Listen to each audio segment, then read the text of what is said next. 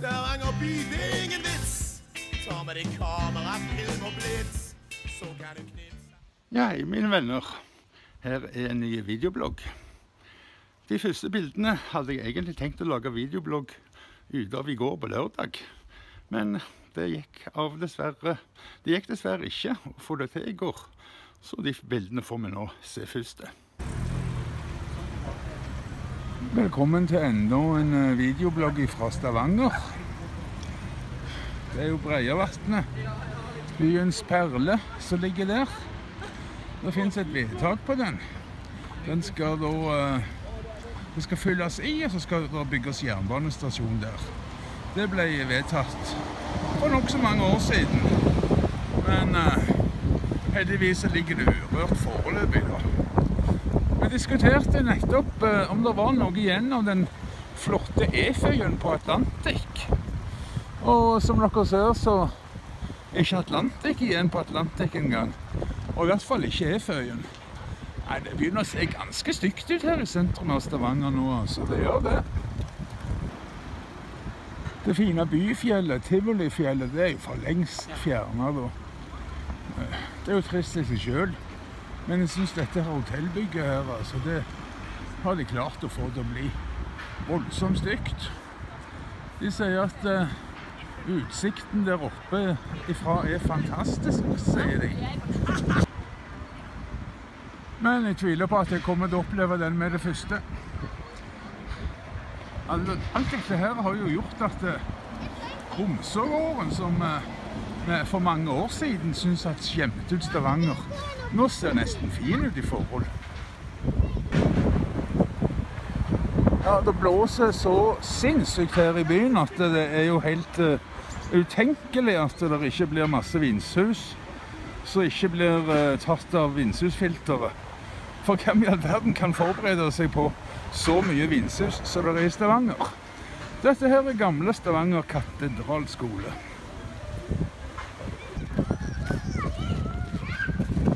Denne skulpturen er gitt av Bertha Bergs legat til forskjønnelse av Stavanger. Den står jo rett foran Stavanger katedralskole med Breiavatnet. Og der er det kommet en ny rar og morsomme ting en krokodille. Det er jo eh, ganske festlig.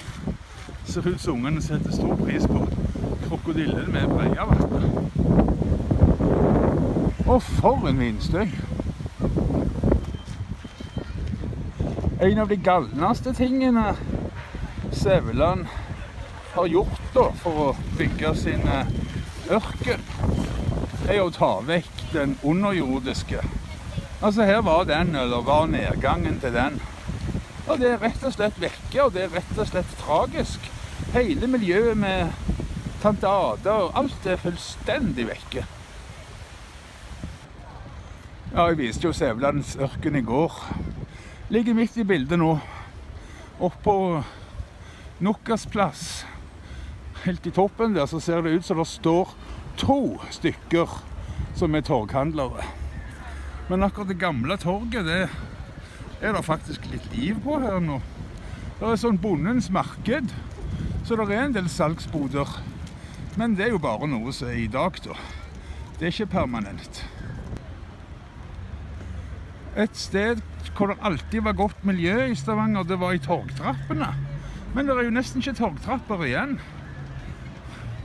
Jeg skal ta og se litt på dette bondens marked. Det er sikkert ikke særlig interessant, men uh, ja. Vi kan ta en liten kikk.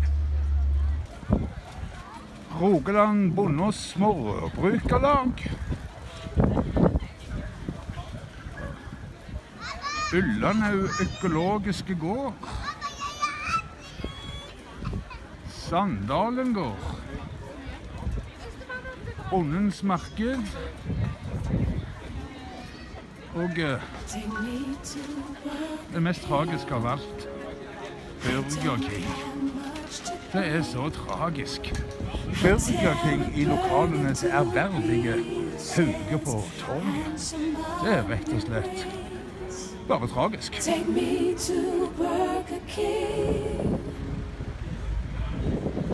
Men akkurat i dag så serverer de noe som ser i hvert fall litt bedre ut enn denne Burger King-greia. Er.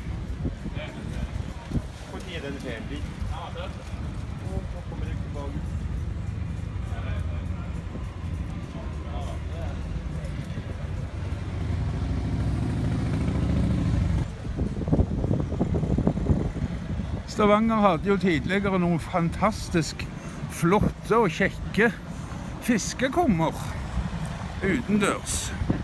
Nå har de da eh, erstatta det med dette bygget her, som uh, ifølge flere jeg kjenner som jobber der, bl.a. Gaute Vassøy, syns det har blitt helt ødelagt. Det var så mye kjekkere før, sier han, når de sto ute.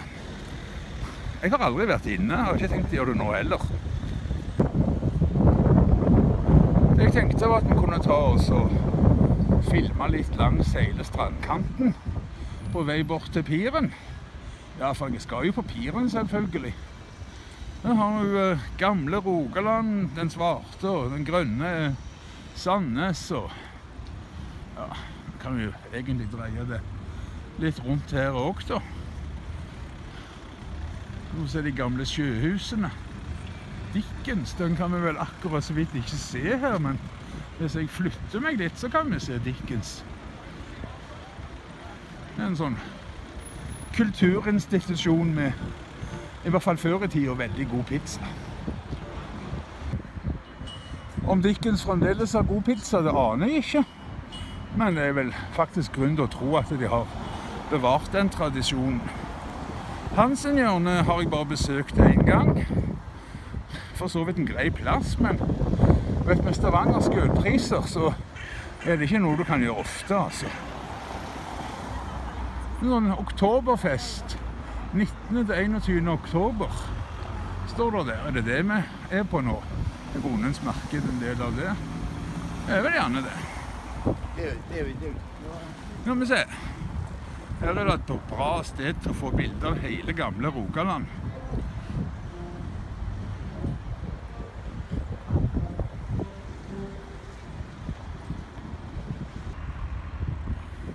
I Ankerbygget, midt i bildet nå, så står et av de webkameraene som alltid viser live aktiviteten her nede i Vågen i Stavanger. Dette er Sandnes. Welcome to Porter Stavanger, står det der. Og så bakom den der eh, supply-båten der, så ligger vel det der nye kulturhuset. Så vi kan få noen bilder av det. Det ser litt voldsomt stygt ut, men jeg vet ikke. Et bilde av den gamle tollboden må vi i hvert fall ha med. Og kanskje et bilde av eh, Victoria hotell òg. Jeg lager jo dette her primært for at det er noen av mine spanske venner skal kunne se hvordan det ser ut her i Stavanger. Det er ikke for håper å si folk flest. Nei, denne supply-båten, Kongsborg, ligger så kontant rett foran at vi får ikke noe bilde av konserthuset. Men det det går an å se herfra, det ser i hvert fall ikke fint ut. En annen ting som virkelig skjemmer ut, det er det de har bygd bakom gamle Stavanger. Det må jo si det Det pynta ikke opp i det hele tatt, altså. Virkelig skjemmende. At se bygd av alminnelig tre, stryken opp med.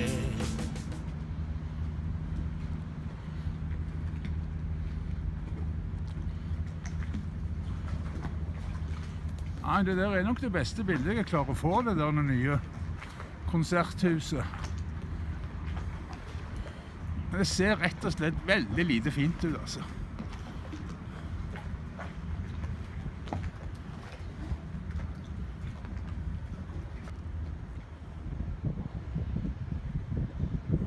Når vi var små, så fisket vi alltid mat på kaien. Det var aldri noe problem. Men se her hva som har skjedd nå.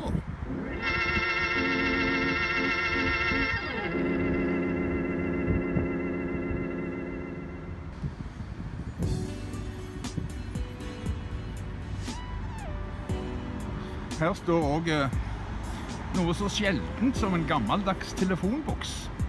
Skal vi se hvordan den ser ut innvendig. Vernet kulturminne, ja. Vi lukker lukke opp døren, får vi se det bedre.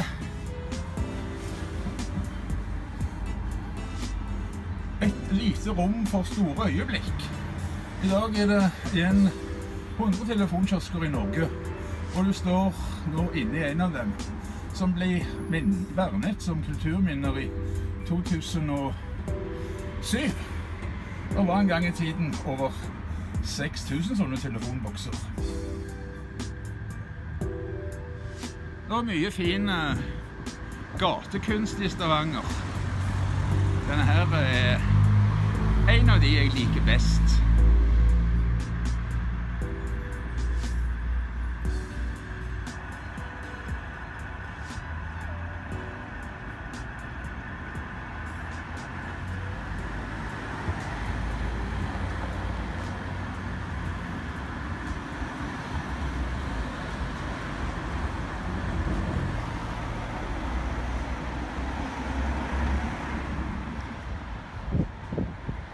Så møtte oss på Skansekaien.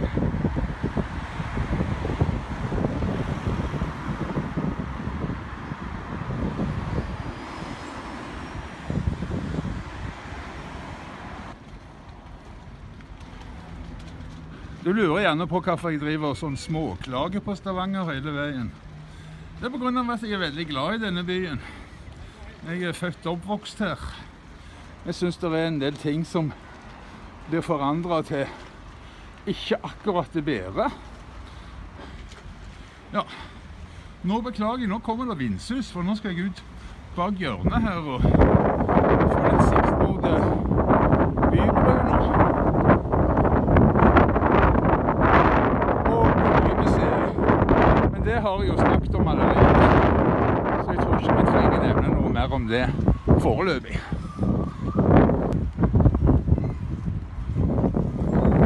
Ja, hvis vi snur eh, iPhonen innover mot de ærverdige røde sjøhus, så er det noe jeg ikke liker. Det de, de har bygd bak der, det gjør at du nesten ikke legger merke til de ærverdige sjøhusene.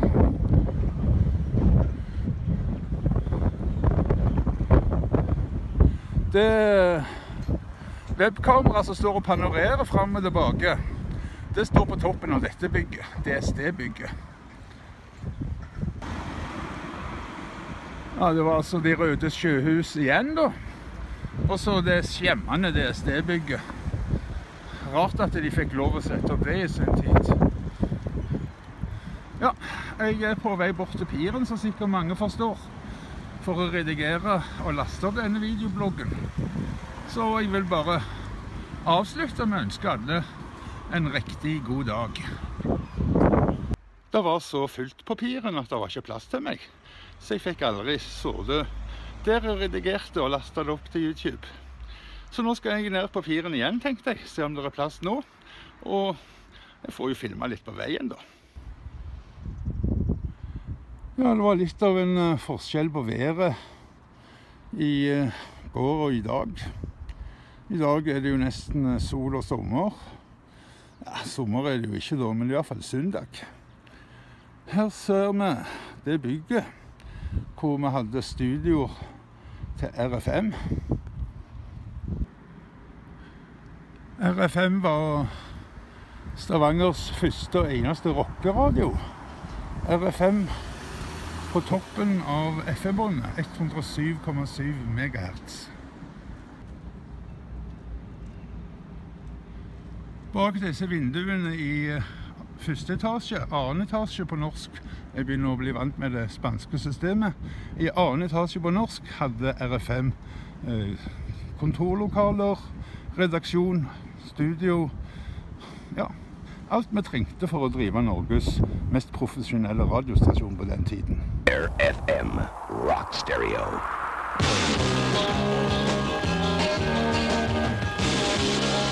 With less talk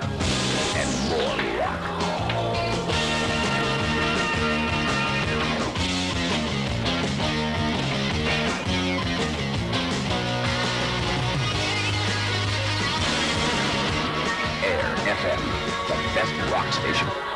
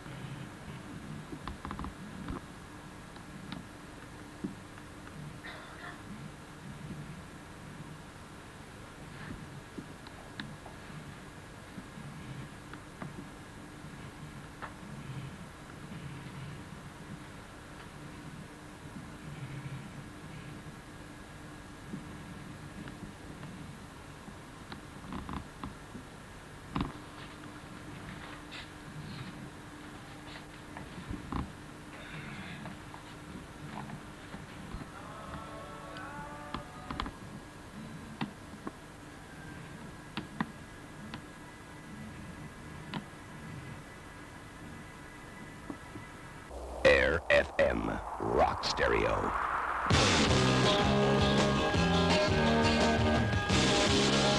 With less talk and more rock.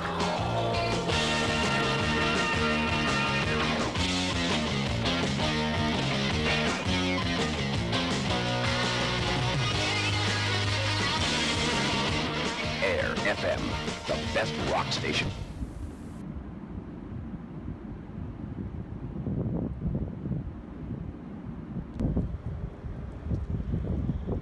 På baksiden av bygget, der vi hadde RFM-studioene, der er det eh, et av de kjekke veggmaleriene som det er så mange av i Stavanger.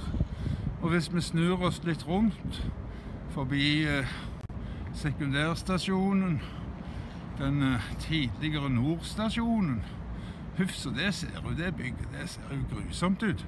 Så er det rett til. Vi får gå bort og se nærmere på det.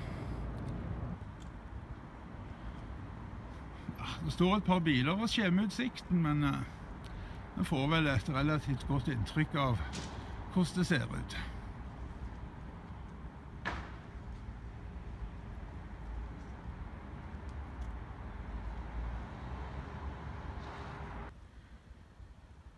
Ja, Stavanger er jo kjent som bedehusbyen, men det er ikke så rent få kirker heller, i tillegg til alle bedehusene.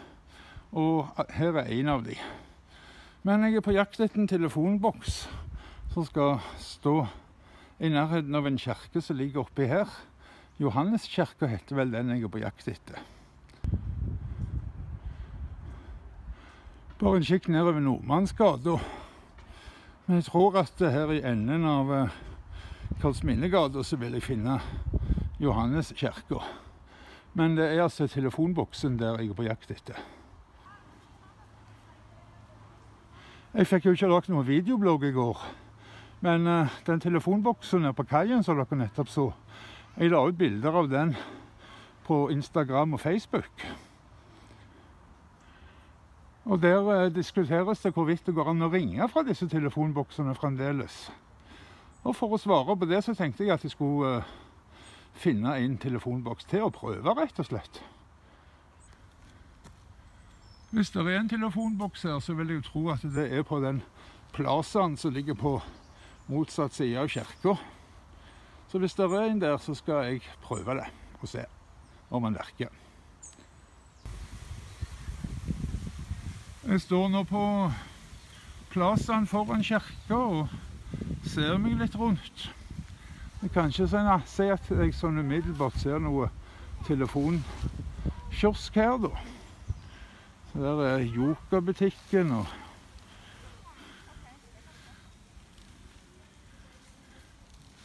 Det rare bygget midt i bildet nå er det gjerne ikke så mange som vet, men det er altså nødutgangen fra tunnelen som går unna her.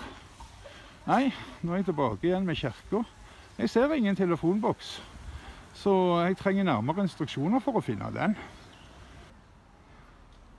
Jeg kan gjerne ta en tur ned på kaien og prøve den en annen dag. Men det får bli en annen dag. Men det kan jo være at jeg er med feil kirke òg. Det er jo så mange kirker her i byen. Og jeg er rett og slett ingen kirkespesialist. Ja, høstfarger på trærne. Men en nydelig dag er det nå. Ja, Der ser dere enda en av byens altfor mange kirker. Men jeg tenkte ikke at vi skulle bort og se på mer, mer kirker nå, altså. Jeg tenkte heller å gå en liten tur ned til sjøkanten før jeg kommer meg bort til piren. Rogaland Kunstnersenter er under oppussing. De har jo hatt noen voldsomt flotte veggdekorasjoner tidligere. Ja, jeg sa at kirkene legger tett som hagl. Her er Petri kjerker. Vi står nå i Pedersgata. En gate som rett og slett ikke er så veldig koselige lenger. I går nede i gata der så traff jeg på et sånt vandrende ullteppe med en eh, liten stripe til øynene. En sånn skikkelig salafist. En ekstremist, altså. Jeg liker ikke å se sånt i Stavanger. Jeg er ikke rasist. Jeg har ingenting imot at folk er av forskjellige hudfarger. Men den der forbanna religionen deres, altså. Ja, nå er jeg nede med Torsgården. Hadde det brant så kraftig for noen år siden.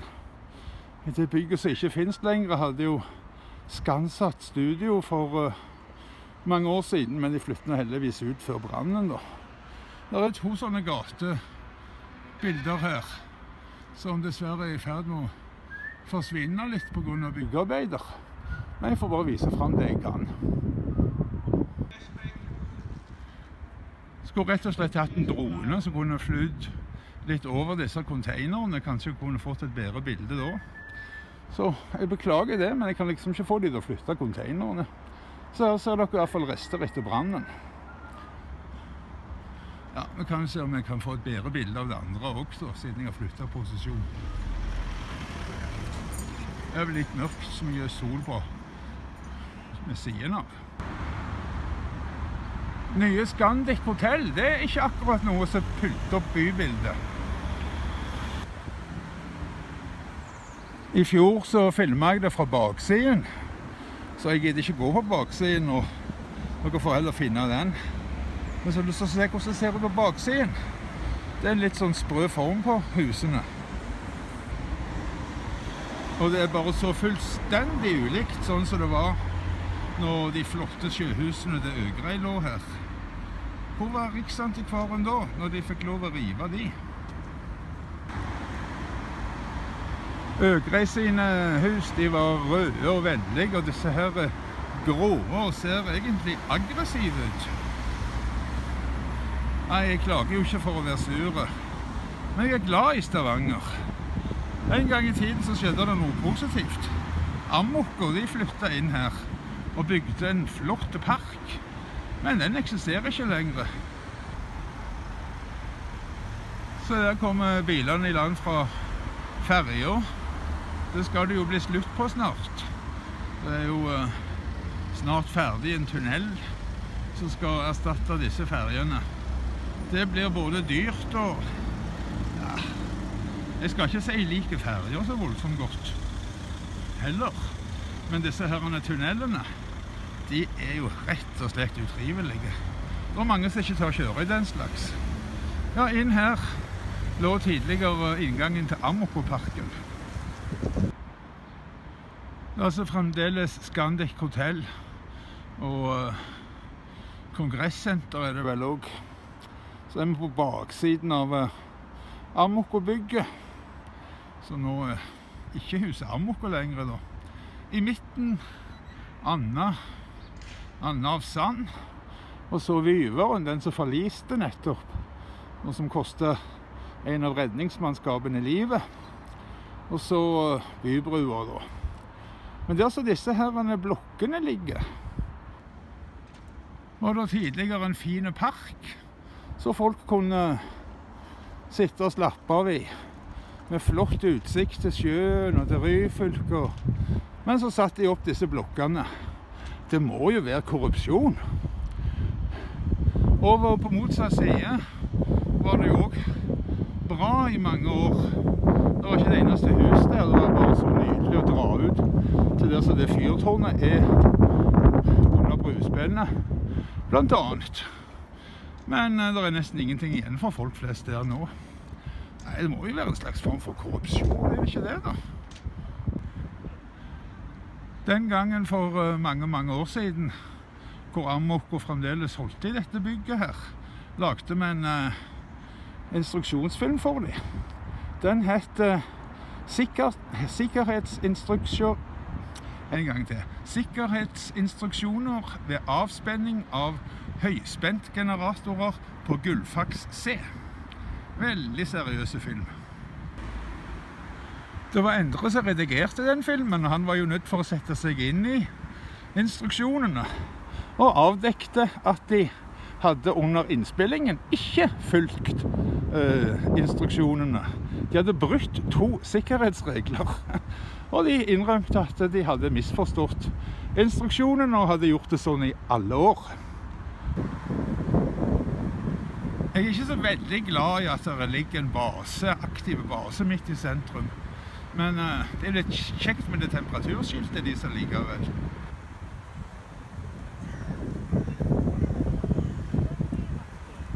Det er ikke dårlig å være så sent på høsten i Stavanger. Men selve basen, den syns jeg når de kunne flytte ut av sentrum. Lagt en annen plass. Bygd en erstatningspark til Stavangers befolkning. Som erstatning for den eh, ødelagte Amokoparken.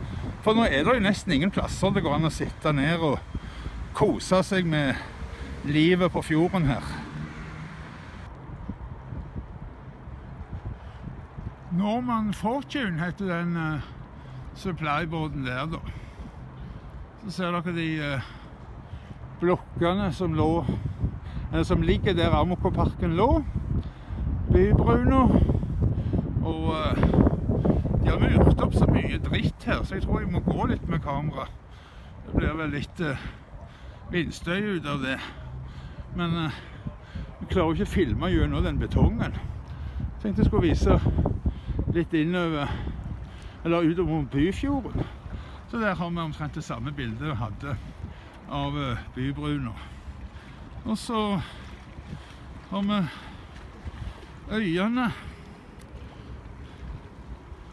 Rosenberg verft kom inn i bildet. Det ligger midt i bildet nå. I DSD-bygget midt i bildet der er det jo et webkamera som står og panorerer. Et av de bedre webkameraene jeg har sett i hele verden. det.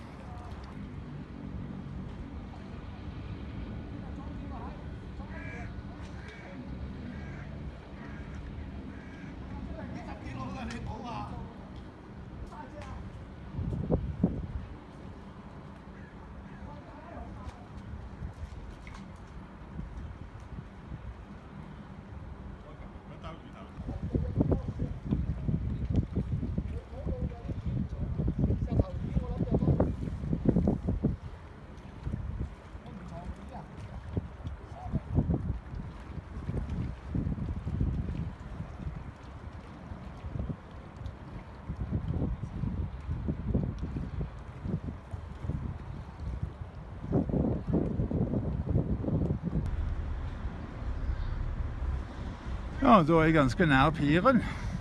Jeg får håpe at de har eh, plass til meg i dag. Sånn at jeg får redigert og lastet opp dette i dag. Ja, ja, ja. Så jeg tar sjansen på det. Jeg, jeg. Jeg vil bare ønske alle sammen en riktig god søndag. I kveld er det karaoke på piren. Jeg eh, har lyst til å gå, men jeg vet ikke om jeg får anledning til det. Men vi ses, ser og vi ses i kveld på piren.